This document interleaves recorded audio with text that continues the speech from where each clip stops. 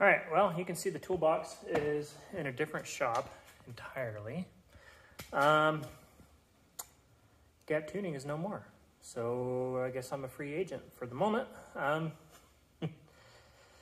could be a good thing, could be a bad thing. But regardless, let me show you a new toy I picked up.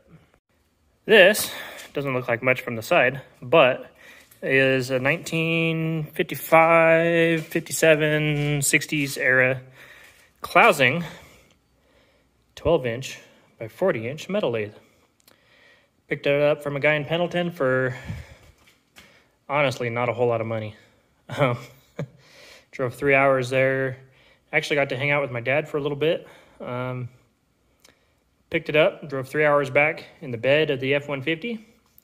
Only had to stop once to grab straps at Walmart there in Pendleton to keep it from wiggling around too much. But here we are with it here at the in-laws house. Um, you can see my welding coat there, my welder, the toolbox, my other toolbox. There's another toolbox behind that, little green one. Um, yeah, so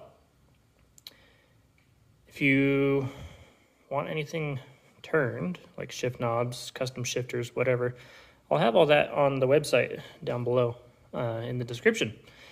So from there, let me quote George Sprov and let me show you its features. Um,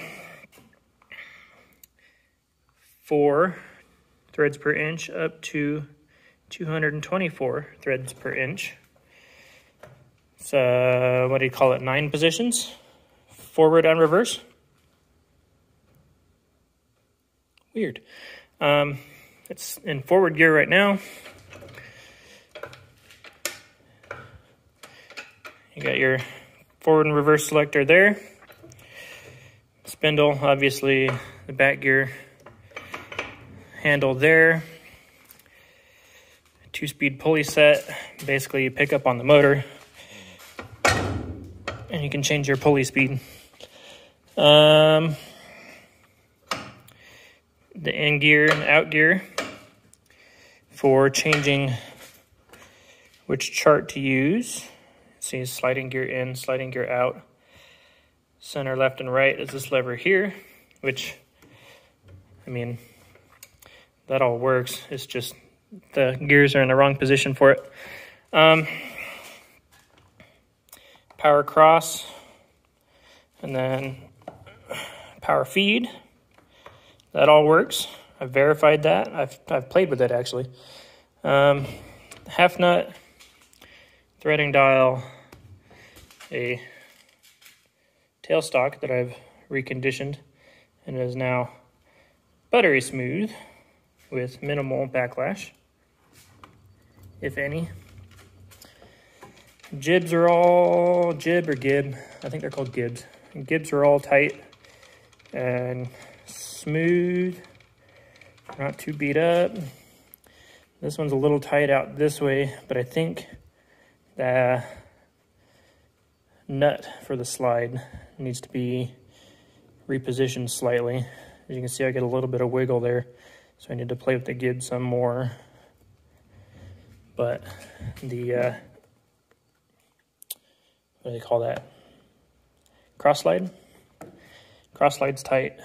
The whole apron assembly needs adjusted, and I need to figure out how that works still. Um, that I've had for engine building forever, a couple years now. Picked up a soft hammer, an oil can, the wire brush I've had, a pair of safety glasses, always handy. It came with not that, and not that, or that. Came with not one drawer of random tooling, but two drawers of random tooling. And a milling attachment. So what the milling attachment does is it replaces the uh, compound. Tool rest, whatever you want to call it. Um, in addition to that, which I actually, I want to play with that still, um, came with a steady rest, The bench grinder is mine. I bought that for sharpening tungstens and haven't replaced the wheel for it yet. anyway, um, steady rest I've already used. Quite nice, pretty handy. And a four jaw chuck. So this is actually a threaded spindle. So it only goes one direction, uh, forward, counterclockwise. Can't run it in reverse or it falls off, from what I've heard. because it doesn't have a gland nut and nothing to lock it in place, it unthreads itself. so that's cool. Um, but it is easy to put the four jaw on and run it. It works really well, actually. Um, I'm not going to pull the housing off. That's cast iron and weighs like 30 or 40 pounds. In here, there's an additional set of pulleys. So, what is that? Three speeds. So it's six speeds for the spindles. Spindle, sorry. Well, no, actually it's more than that because of the back gear. So, 12. 12 speeds, something like that. It does have an old mechanical back gear lock, which locks this spindle and lets the back gears run. Um, this lever here is actually a clutch mechanism. So it's got a brake shoe here that probably needs replaced that grips the pulleys to keep it from spinning. But there's a cone, a conical cut clutch in here that works on the lever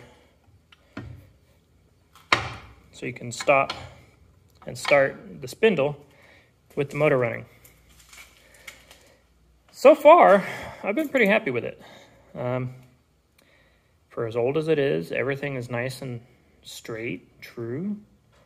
I did have to clean it up some, naturally. But uh, yeah, it's been awesome.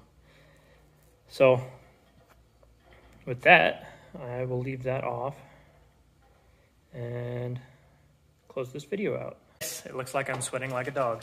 It's actually like 100 degrees here today. So inside the building, it's a little hotter than that. Um, don't forget to like, subscribe, share the video if you want. I might go through and show how to adjust everything on that, mainly the apron, because I have yet to find any videos and I had to figure it out myself. So it may be helpful for others. Um, that being said, thanks for watching.